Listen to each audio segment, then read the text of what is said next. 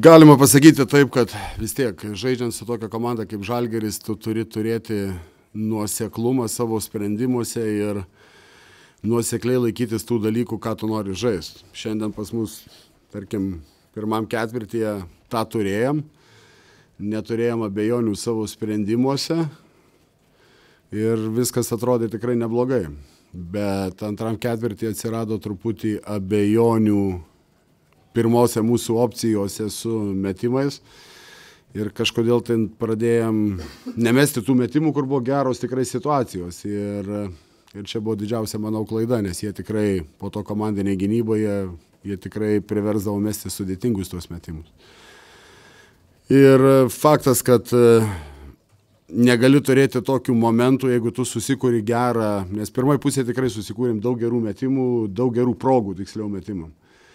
Ir tarkim, kaip rungtynėse du momentai tokie buvo, prametam lėjapą iš po krepšio ir kitoj pusėje iš karto gaunam 2 plus 1. Tai yra bendrai paskaičiavus, jeigu taip, tai yra 5 taškai gaunasi. Antroji pusė lyginai taip pat prametam laisvą metimą iš po krepšio, gaunam greito puolimo vėl 2 taškus, vėl gaunasi 4 taškai skirtumas. Ir paskutinis dalykas, tai turim išmokti žaisti tada, kada esame jau bonuse ir tarkim šitos rungtynės tai buvo blogiausios tikrai šį sezoną. Dešimt kartų mes juos pasiuntėme mesti baudas, būdami per agresyvūs, klozautuose per agresyvūs ant žaidėjų su kamoliu. Ir jie 20 baudų vien metė iš šitų situacijų. Tai čia, čia vien dėl to gali pralaimėti rungtynės. Jūsų klausimai.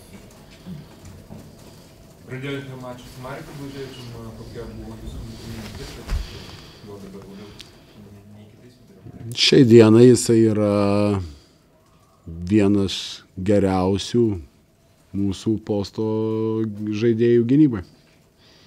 Tai mintis pagrindinė buvo, kitas dalykas, su FK žaidžiam trumpom atkarpom ir buvo su juo norėjom žiūrėdami ir iš gynybinės pusės ir taip, kaip atrodo treniruotėse.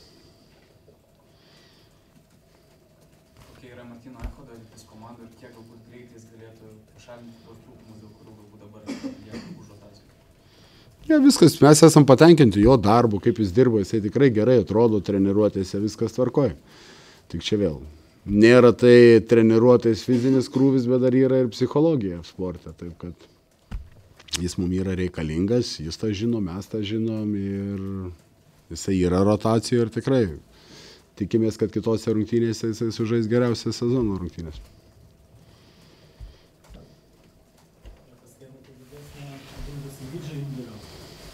Na, Deiviai priešininkai kreipia didelį dėmesį, užsidėję yra kaip ir prieš kiekvieną metiką. Sakau, mums mum reikia, mes, mes komanda esam, nesam komanda, kuri turėsim kažkokių didelių persvarų žaisdami prieš priešininkus ar, ar prieš žalgerį Lietuvoje ar Eurocapė. Mūsų, jeigu susikūrėm į kažkokias, susikūrėm kurias situacijas, mes jas turim, nu, mūsų procentas turi būti labai didelis.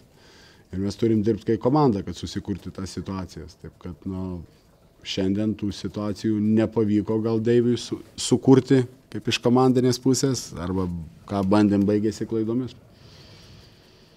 Šį vakarą dvikova trumpam buvo sustojus dėl to fanų konflikto, kaip tas incidentas jums iš šono žiūrėjosi ir kaip pati elgėsi vertinau. Blogai tai yra. Nu, krepšinis, manau, yra vis tiek sportas yra, kur, kur ateina daug šeimų, ateina daug vaikų. Mano vaikai ateina visada į krepšinį. Aš nemanau, kad, kad šeimos ateinantys žiūrėti krepšinį, nori matyti ar girtų žmonės kažkokius prisigėrusius, laidančius kažkokiu keiksmažodžių lavinas, ar, ar kažkokias muštynės rungtynių metu. Tai mano pačio krepšinio tai tikrai nepošia. Ar šį vakarą komanda nepasigėdo po tribūnos palaikymo? Mums sakau, kiekvienas, kiekvienas fanas yra svarbus. Kiekvieno fano palaikymas yra svarbus. Ar tai būtų B tribūna, ar tai būtų gyventojas, kuris gyvena bet kuriam mūsų Vilniaus rajone. Taip kad norim visada turėti kuo daugiau žmonių salėje, kuo geresnį palaikymą ir vis dėlto krepšinį žaidžiam dėl fanų mes, o ne, ne šiaip dėl savęs. Taigi dėl sirgaliai yra pagrindinis, pagrindinis tas kaip dalykas, dėl ko žaidžiamas yra šitas, šitas sportas. Tai yra dėl sirgalių. Treneriai pat šiandien gavo techninę pražangą, nemažai apeliavo teisėjų atžvilgių. Ar buvo galbūt leistas per didelis kontaktas, kuris jūs netenkino, ar galbūt priežasčių? Gudrus, tu, ne, ir ką dabar, na. Įeik į LKL tuos įstatus, pasižiūrėk, kokia yra bauda, padėk čia šalia ir šnekam tada.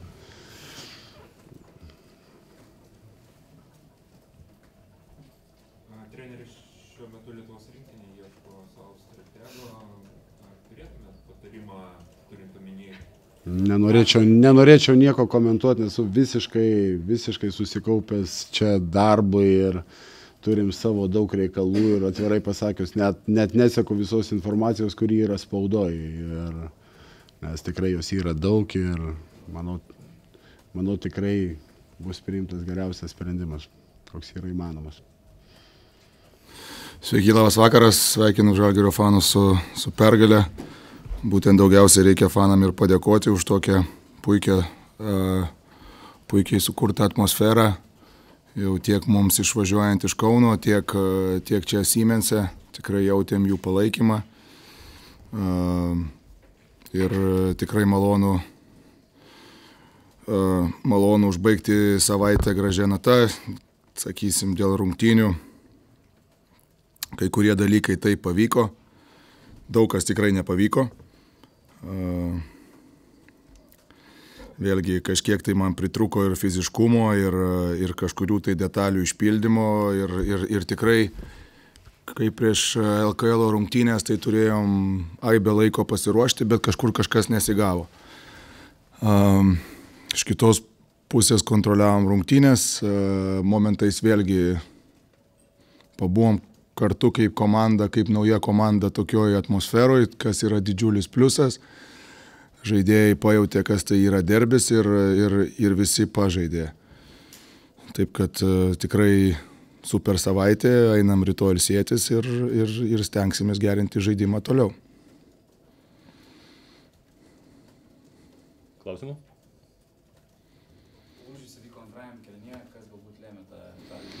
Šitoje situacijoje aš galvoju, kad paprasčiausiai lėmė pataikymas.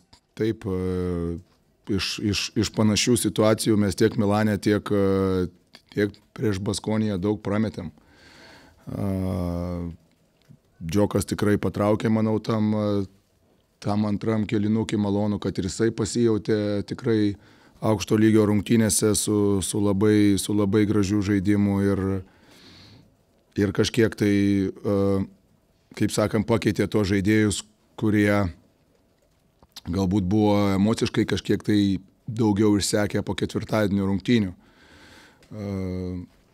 Vėlgi, sakau, tikrai yra kur tobulėti ir gerinti žaidimą.